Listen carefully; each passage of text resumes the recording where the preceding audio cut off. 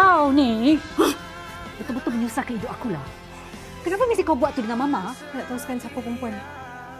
Girlfriend you, PA baru? Ya. Sakit wang apa? Babe, jangan macam ni, babe. Babe, dengar aku cakap dulu. Babe, tunggulah. Eh, tunggu. Aku, aku bukan nak cakap dengan kau. Tapi aku tunggu aku eh, eh. Padaku.